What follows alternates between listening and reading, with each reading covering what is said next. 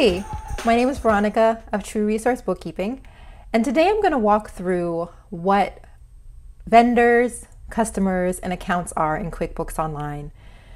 This is something that can be really challenging for people to get at first, and not knowing the difference and kind of when to use one versus the other and how to use them can make things a little bit messy later on. So I'm going to explain to you what each of them are and I'm going to explain also, you know, when you might see them, for example, in the bank feed or doing a journal, and how you can make sure that you have the best choice for each transaction so that you have super clear books down the line. So let's get started.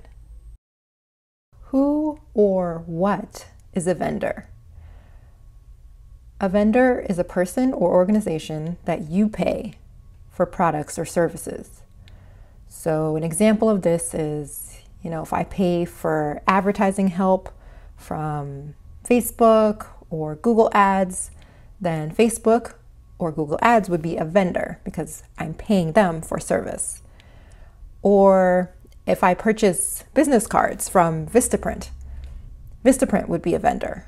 So the key to remember here is vendors are people who you pay for products or services. All right, so what about customers? Customers are kind of the opposite of vendors. A customer is a person or organization that pays you for products or services. So if I sell my services to Jane Doe, then Jane Doe would be a customer. If I make a sale through Stripe for products or services, and then Stripe sends me the money, the funds, from those sales, then Stripe is a customer. The key with customers to remember is that a customer is a person or organization that pays you for products or services. Okay, so we've gone over what vendors are, what customers are. So now, what are accounts? Accounts are categories that QuickBooks Online uses to track expenses, income, assets, liabilities, and equity. I'm going to spend a little bit of time going over some examples of each of these five account types.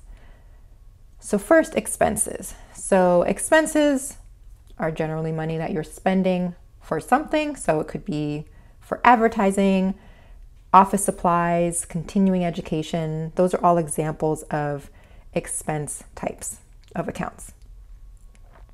What about income? So, income is any money that you received from customers for goods or services. So, you could have, you know, if you did copywriting, you could have copywriting income. If you did um, consulting, consulting income, or you could just have plain income. And assets. So, assets are what your business owns. So, it could be a bank account, so cash in your bank account. It could be accounts receivable, so the money that you're expecting to come after you invoice a client. Those would be examples of asset account types. And liabilities. Liabilities are money you owe, so it could be a credit card account that you have or a loan that you have to pay back. Those are both examples of liabilities account types. And finally, equity. So, equity is kind of the difference between assets and liabilities. So, if you were a sole proprietor or maybe an LLC as a single member LLC, uh, an equity account could be, you know, the owner's contribution, so what the owner puts into the to the business, or it could be owner's pay and personal expenses as an account, um, what the owner pays themselves, you know, and any personal expenses that they have that go to the to the owner. So these are all just examples of different types of accounts within the different types of account groups. All right, so just to recap really briefly, we went over what vendors are, which remember, vendors are a person or organization that you pay for products or services. Then we talked about customers, and a customer is a person or organization that pays you for products or services. And then we talked about accounts. And accounts are categories that QuickBooks Online uses to track expenses, income, assets, liabilities, and equity. All right, so now that you are a pro and know the difference between customers and vendors and understand what the different accounts are, I'm going to just show you a few places in QuickBooks Online where you're going to actually get to use those and it helps to know the difference. So the first page would be the bank feed. So you'll go to banking and then banking and then you'll choose, you know, whatever card or bank account you are choosing to um, categorize in the moment. And you'll just click one open and here you will see one field for both vendor and customer because as you probably know, the bank feed can pull in either expenses or income. So here is where sometimes it gets confusing because you're not sure which one to put. But if you remember from our earlier demonstration, vendors are either people or organizations that you pay, or customers are people or organizations that pay you. So here, in for this example, this is money that came in from Amazon. It's probably not the best example, but because Amazon probably isn't the customer, but maybe it is. Um, but say it was, you know, then you would know that you were choosing somebody that's a customer.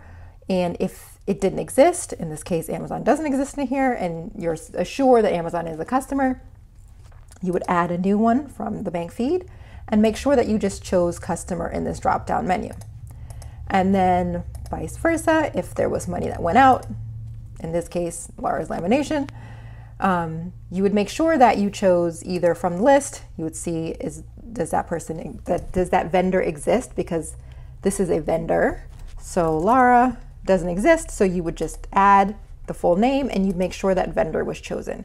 So that's one place, a big place, probably the most frequent place that you will see knowing the difference between vendor and customer come into play and being very helpful to know the difference.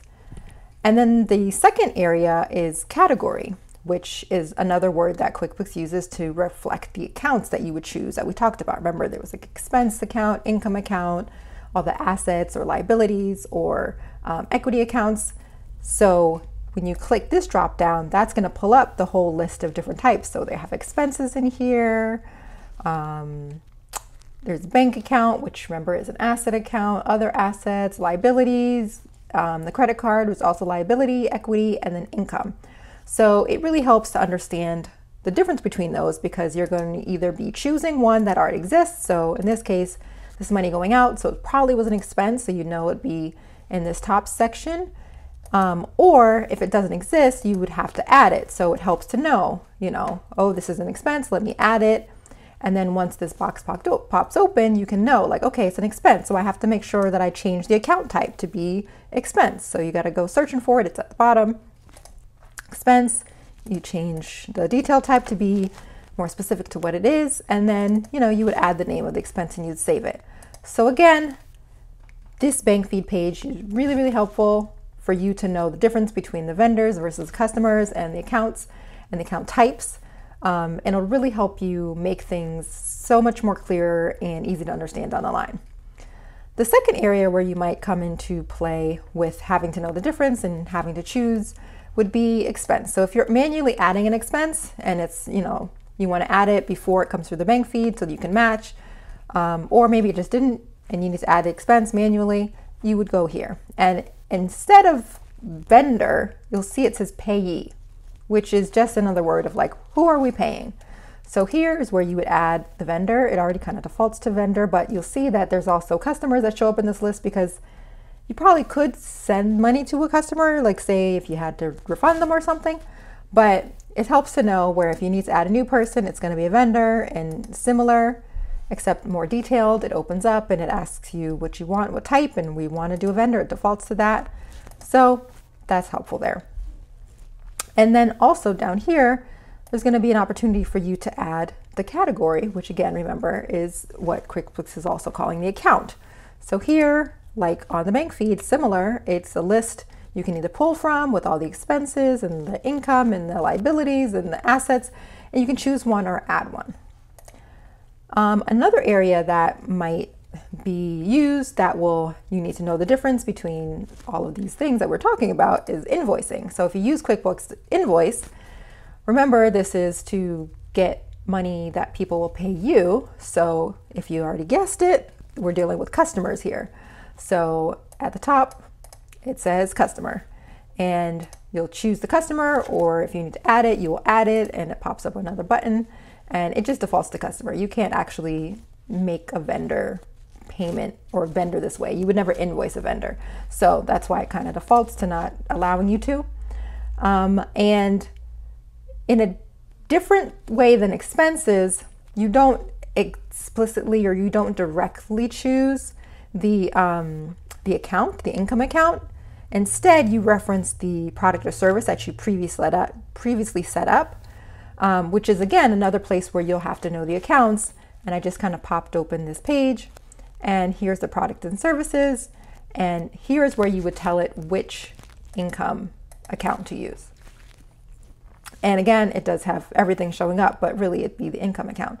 So again, these aren't all the areas where you would have to um, know the difference between, you know, vendors and customers and accounts and account types. But these are kind of the most popular ones, especially the bank feed.